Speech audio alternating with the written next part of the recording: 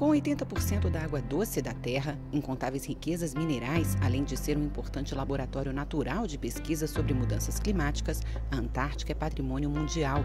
O Brasil está presente na região desde 1982, com o Programa Antártico Brasileiro ProAntar, que realiza anualmente diversas pesquisas na região. A partir de 2018, ganhará uma nova estação no continente.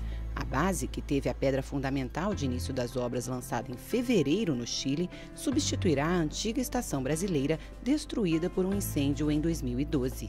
Reafirma o nosso compromisso em integrar todos os acordos internacionais envolvendo o continente antártico, o uso dos seus recursos, a preservação para o interesse pacífico e científico e tecnológico e o compromisso com a nossa ciência, a nossa universidade, os nossos institutos de pesquisa, que projetam muita expectativa em relação a resultados que são projetados e que dependem de pesquisa de campo realizadas aqui.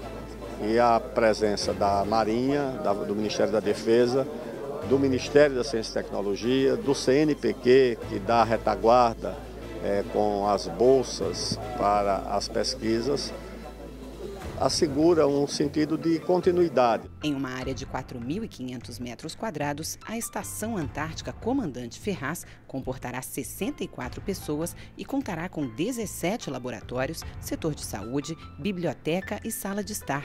O contrato para a reconstrução foi assinado com a empresa China Electronics Imports and Exports Corporation. Não vai ter obra de construção civil aqui, vai ser praticamente uma estrutura montada. Isso, por um lado, facilita, ajuda, porque é só transportar o que tiver de pré-moldado. Nós projetamos todo o equipamento, a parte de pesquisa, as instalações de acomodação, infraestrutura, logística, tudo isso dentro de 4.500 metros. Ou seja, então é uma construção muito mais moderna e que gera para a pesquisa melhores condições e também para os pesquisadores com essas novas instalações.